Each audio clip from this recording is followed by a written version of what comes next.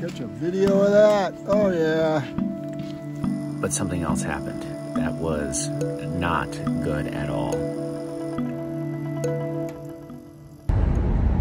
So we have a very exciting weekend ahead of us planned. It is a two-night camp out, winter camp out. So I have the Twin Peak with me, and it is 100% going to get set up this time because if it doesn't, I'm not going to have something to sleep in. So uh, I'm excited to get that set up, get the hot stove in there, and, and really see. For me, I'm like I'm like a kid on Christmas morning. I get to go on this camp out. I get to set up my tent. Uh, all the dads there, we've made like a little dad group. We planned our own menus. All the kids planned their own menus, and the dads we're just gonna hang out, have a good, fun weekend. Super excited about it. No embellishment. It is going to be zero degrees tonight. It is getting down to zero tonight.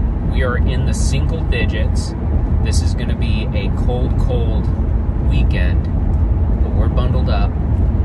We're ready for it. And I'm going to bring you with us.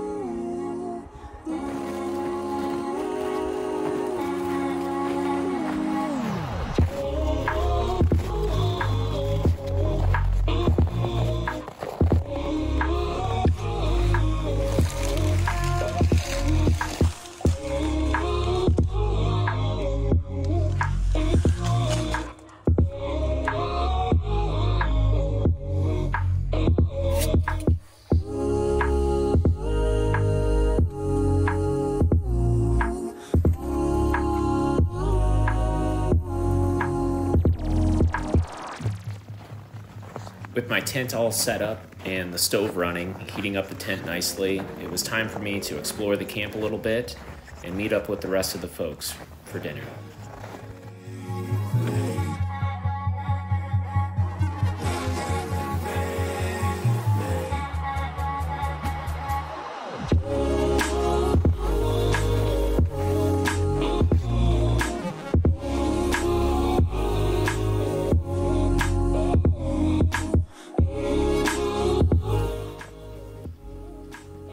Place is actually an old Methodist camp that I used to visit when I was younger, and that my parents used to go to a lot when they were teenagers.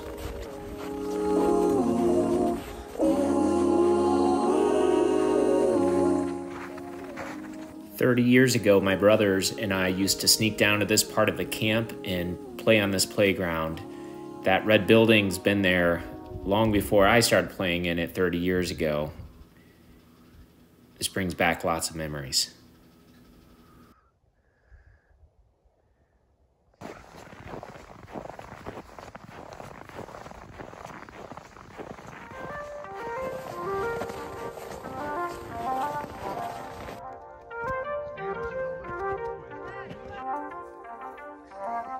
Yes, like the, the exact way. Here's Johnny. Are we doing this again next week? I mean, we could. Wait, Where? Lucas. I don't know. Me into a newt.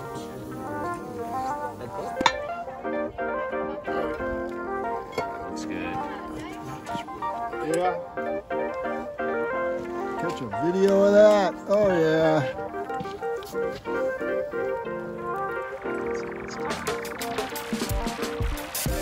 Not a bit.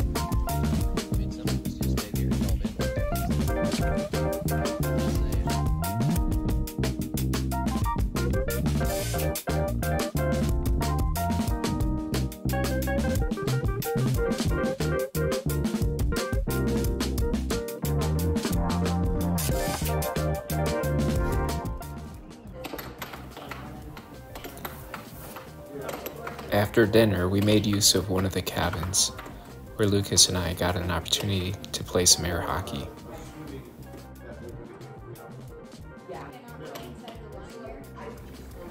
We then sat down and learned how to do some lashings.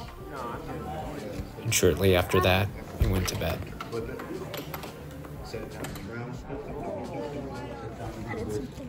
This is the point where you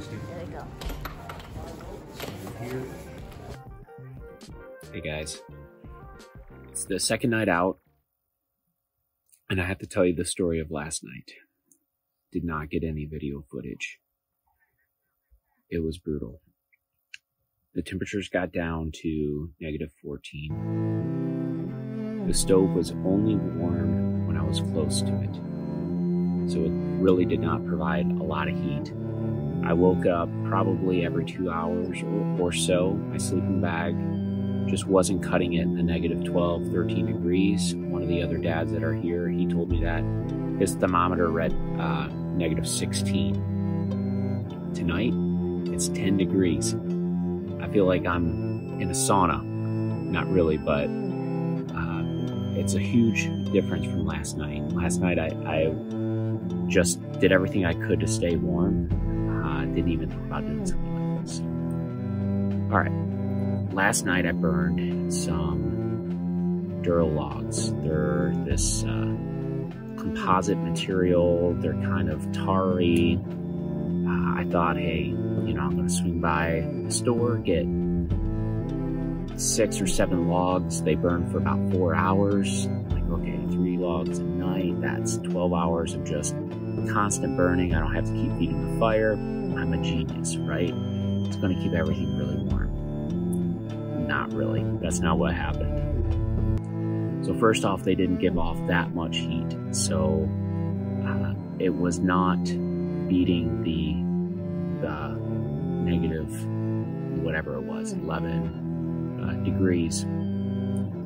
Uh, but something else happened that was not good at all. So I had to combine some wood with this tarry log thing, and it was kind of working. It, it, I would put it in there, it would heat up. I, I slept close. I could feel the heat on my face and kind of on my upper shoulders. And that, that felt good, and, and I could fall back to sleep. A couple hours later, uh, I'd wake up cold. I'd put another log in the fire. At about 3 or 4 a.m., when it was the coldest, I put a new log in, and smoke just started coming into the tent.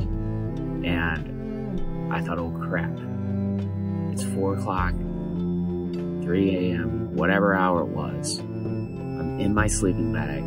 I don't want to get out, but I have to because smoke is pouring in. so I throw on my boots, throw on my jacket.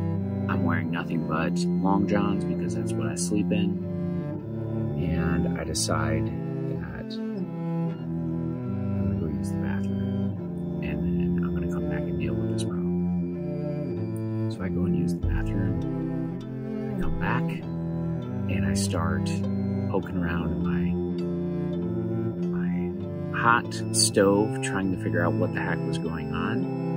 And I I took off the the chimney thinking, okay, I'm just gonna poke down from the other side and open up that gap and put the chimney back on. And I noticed that the fire sparker or the, the, the uh, spark arrestor on the top was completely closed up. There was, it was solid. There was no way that I could have gotten any smoke out of that. So I took it off, and then the second I took it off, all the smoke started going the right way again and started pouring out of the chimney. Problem averted, and I went uh, on with my morning. Stoked up the fire, got it warm again, went back to sleep.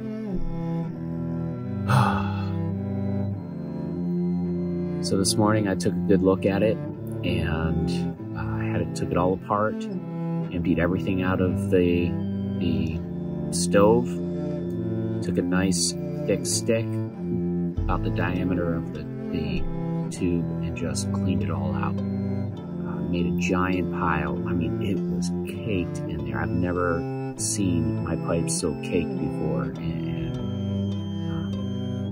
um, so, lesson learned. Don't use fire logs in tents. They gunk up the chimney. I can't imagine what they do to homes. Um, but they certainly do not work well on hot tents. So tonight, I have a stack of wood. I'm going to burn it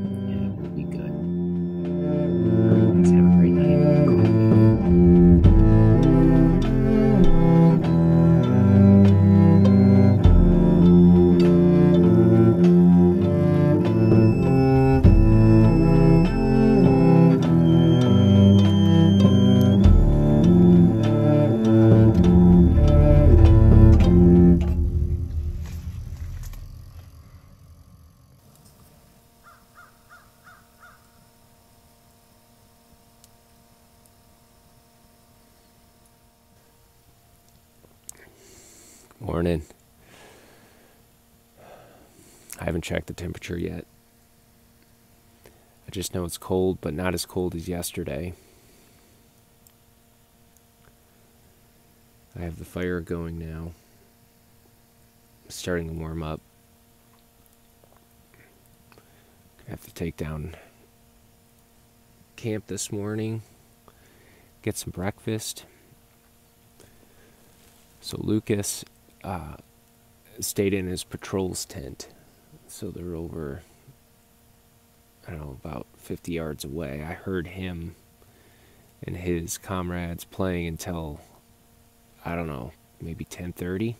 They were up pretty late last night, just running around out in the cold, enjoying being young boys, young men. So this morning, though, we're going to break camp, cook breakfast, have a church service, go home. I am looking forward to going home, although I love it out here. I'm always torn. Towards the end of these types of trips, I, I'm I'm excited to go home.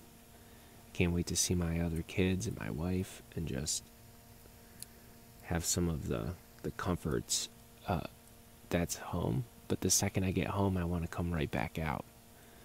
I want to sleep in in the wilderness, be outdoors, enjoy trying to keep a fire going all night. It's just fun.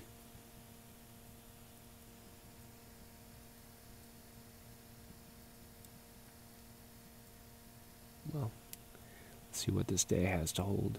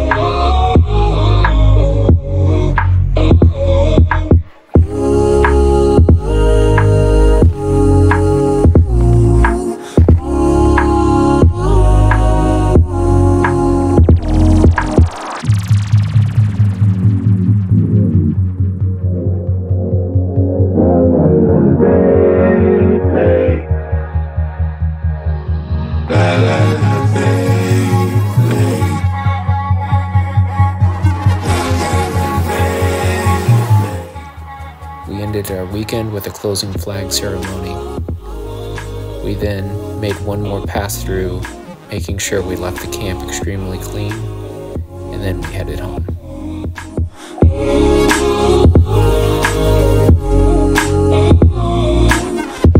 the coldest weather you've ever slept in in your life, and it's behind you. Every camp out from here on is a cakewalk, except for when we go on a long hike. That's your next challenge.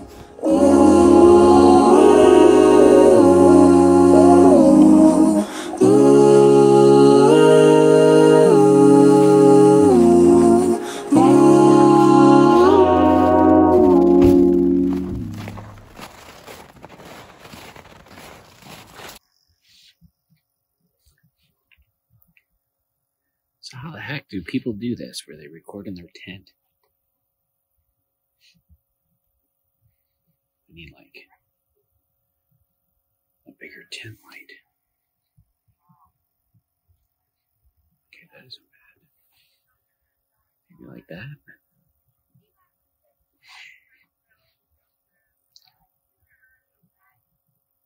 Here we go.